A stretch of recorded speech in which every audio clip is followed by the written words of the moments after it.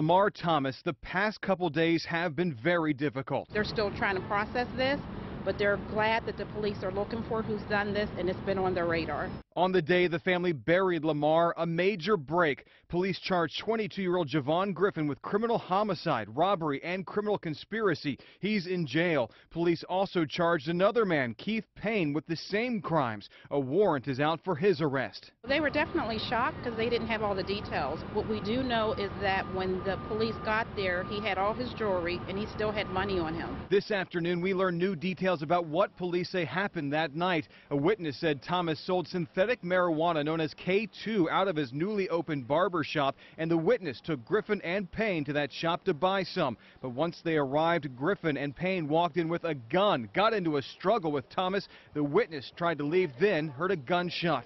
Right now, Thomas's family is trying to make sense of why he was killed, a man they say was liked in his community. Right now, we're trying to process this. We're just trying to, you know, with, we just hope we can get prayer and just figure this out. Um, I do know the family's going to be at every court hearing once this does come to the court, um, and hopefully the justice will be taken. Bob Hazen reporting tonight.